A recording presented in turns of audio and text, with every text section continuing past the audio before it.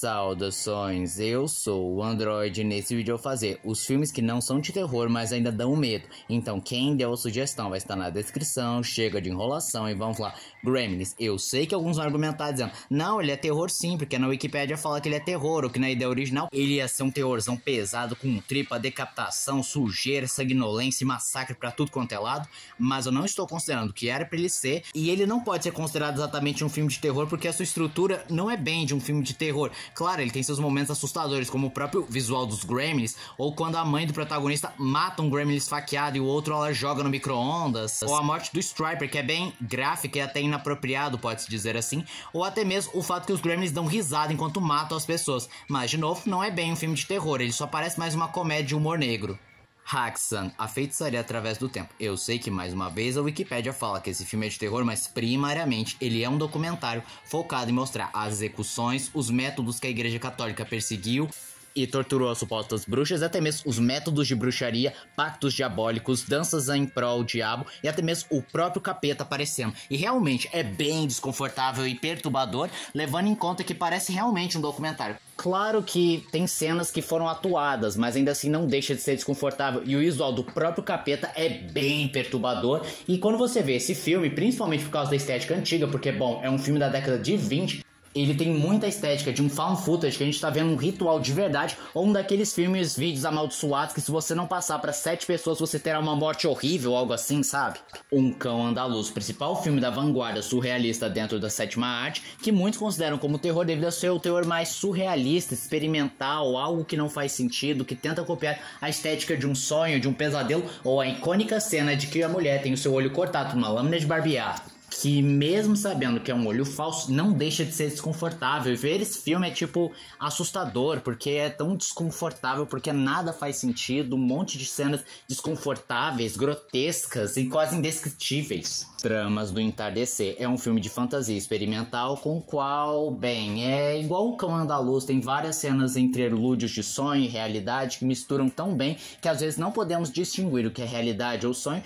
e conforme vai avançando o filme, nós vamos ficando cada vez mais perdidos, não só porque somos incapazes de distinguir o que é realidade ou sonho, porque a esse ponto acabaram se misturando, como também a própria câmera tem um certo ângulo que distancia todos nós, ângulos experimentais, sentimento de que alguma coisa não está certa, e ver esse filme dá aquele desconforto, angústia, a gente não entende nada. O Mensageiro do Diabo. O filme é sobre um assassino de viúvas que, após escapar da prisão, vai atrás de uma mulher e seus filhos para pegar a herança do pai da família que era seu colega de cela. E para isso, ele se finge de reverendo para se aproximar e assim matar a família. É um filme que é considerado um suspense, um thriller, mas ele tem vários elementos de terror, não só porque é um personagem assustador e tão real, porque existem caras exatamente igual a ele, não só falsos profetas, fanáticos religiosos, o que mais uma vez comprova que nem todo diabo tem chifres. Donnie Darko. Sim, esse filme não é de terror, ele é considerado um drama, mas ainda assim ele consegue ser bem perturbador por causa da fotografia mais azulada, escura, ou o próprio coelho, que é bem bizarro e assustador, ou a trama não linear e o momento de sonho, alegorias da depressão, que simplesmente torna um filme bem assustador. Pieles. Isso é um filme bem intrigante, para dizer o mínimo, porque trata de personagens com algum tipo de deformidade ou transtorno mental, desde os mais possíveis até os mais fisicamente impossíveis, como a protagonista nascer com, com os orifícios trocados, ou seja, a bunda dela tem uma boca e a boca dela é uma bunda. É um drama com algumas pitadas de comédia, mas que alguns se sentem bem desconfortáveis, principalmente com a deformidade da protagonista. O Labirinto do Fauno, um clássico quando se trata de filmes que não são de terror, mas que ainda dão medo, porque ele é considerado um filme de guerra e fantasia, e ele dá um certo medo, um nervosismo por causa de sua estrutura bem mais obscura, gótica, fantástica, com um pouco de fantasia obscura e personagens deformados, com visuais macabros, com uma arquitetura e construção de mundo retorcida, escura, com pouca luminosidade, fantástica, sabe?